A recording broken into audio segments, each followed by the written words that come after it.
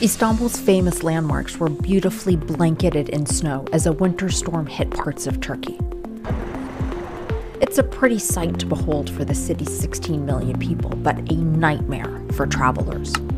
The heavy snow clogged roads, leaving some 4,600 motorists stranded across Turkey, while buses and ferries were also delayed.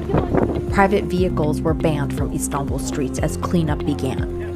Snowfall began late last week, but has significantly increased in recent days. At the airport, flights were suspended for a second day Tuesday. Turkish Airlines canceled all flights from the airport, which temporarily closed operations, and workers plowed the snow covered tarmac. While inside, passengers tried to make themselves comfortable wherever they could. Some were so upset they staged a protest chanting, We need a hotel. But the angry travelers appeared to have calmed down after airport staff gave passengers food and sleeping pods. Airport workers tried to assess the damage after the heavy snow caused the roof of a cargo warehouse to collapse. In Greece, the winter storm dumped 8 centimeters of snow on Athens, a rare occurrence for the capital, knocking out power to much of the city as the blizzard conditions caused chaos on the roadways.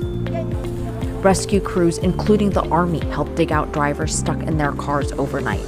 Many were given food and water as the temperatures fell.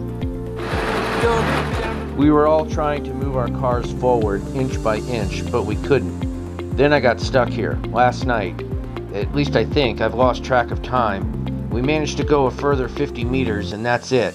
I've been right here since last night. Some did try to make the most of the situation, like this woman who used skis to get around.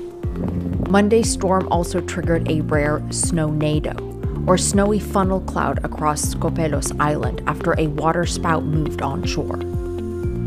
Things have been quite messy across Greece and Turkey, to say the least, over the last few days. The region is quite simply just not used to this level of snow. When it comes to Istanbul right now, most of the main roads are open, but it's quite tricky here, especially given how hilly it is to get all of those side streets safely open up to traffic as well. I mean, I'm basically effectively snowed in.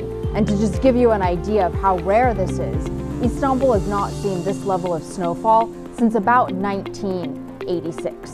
Arwa Damon, CNN, Istanbul.